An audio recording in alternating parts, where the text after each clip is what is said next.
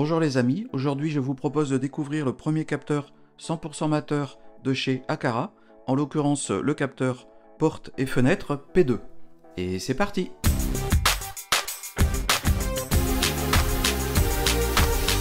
La compatibilité mateur de cet accessoire signifie que nous n'allons pas avoir besoin de pont Akara comme c'est le cas avec les autres accessoires.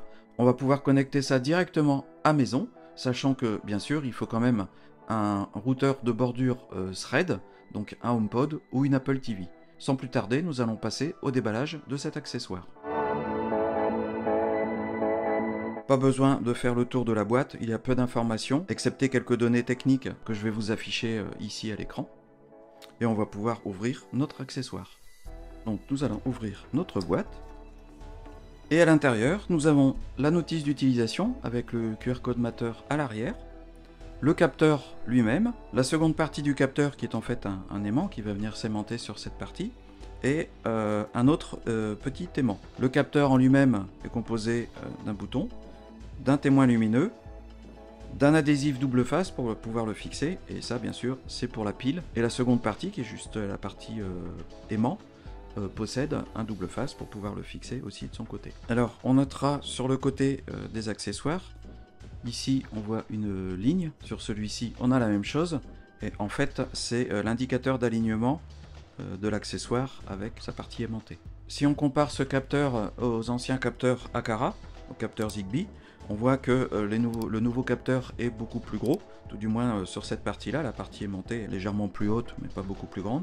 Alors, la pile est un format différent, c'est une pile euh, ronde un peu plus grosse, alors que là-dedans c'est une pile plate. Après, la fonctionnalité est la même, je ne sais pas si c'était nécessaire d'avoir un si gros volume. On peut espérer que grâce à cette pile, l'autonomie soit largement supérieure, cela étant dit, l'autonomie de ces petits capteurs est déjà assez importante.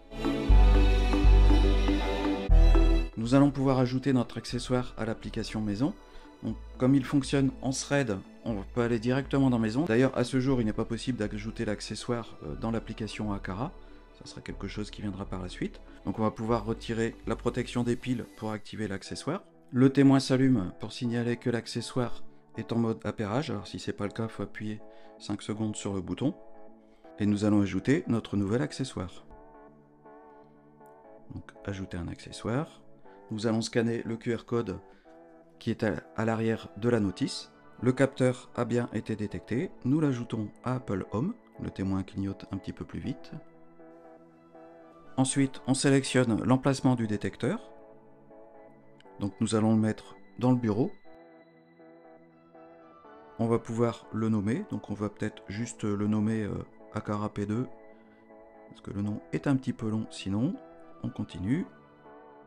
Il demande sous quelle forme on veut l'afficher. Donc là par exemple si on veut le mettre sur une fenêtre, on va préciser qu'il s'agit d'une fenêtre. On clique sur continuer. Et le détecteur a été ajouté à maison. Maintenant que l'accessoire a été ajouté, on va pouvoir regarder un petit peu la, réactivité. Donc pour cela, on va aller euh, dans le bureau.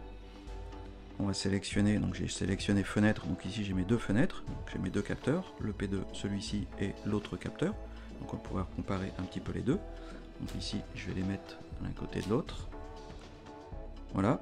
Et donc, ici, si on teste la réactivité, on a une première idée. Alors, on va tester sur une vraie fenêtre ce que ça donne réellement. Maintenant, si on teste ici, voilà, c'est relativement réactif dans les deux cas. En termes de distance de réactivité, euh, voilà, on est à peu près à cette distance-là sur ce capteur-là. Et sur ce capteur-là, on peut aller un petit peu plus loin. Donc j'ai positionné les deux capteurs, l'ancien et le nouveau mateur. Vous voyez que les modules sont pas positionnés tout à fait de la même façon pour que ça fonctionne. Nous allons ouvrir la porte rapidement, donc les deux réagissent instantanément. En fermeture c'est pareil. Lorsqu'on ouvre tout doucement, on voit que le P2 réagit en premier et euh, le Zigbee en second. Et quand on ferme, c'est l'inverse. On refait une tentative. En rapide, les deux réagissent instantanément et de manière lente, ils sont un petit peu décalés, mais ça réagit quand même assez vite, on peut dire. Maintenant que nous avons installé notre capteur d'ouverture, bien sûr, on va pouvoir euh, ajouter des automatisations. Par exemple ici, je vais lui dire un détecteur signale quelque chose.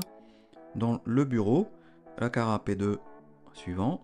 Donc si la fenêtre s'ouvre, par exemple, euh, je vais pouvoir éteindre le ventilateur du bureau.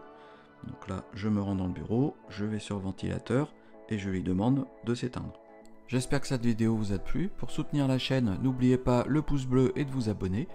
Et si vous voulez en savoir davantage sur les accessoires Akara, je vous invite à aller voir cette autre vidéo.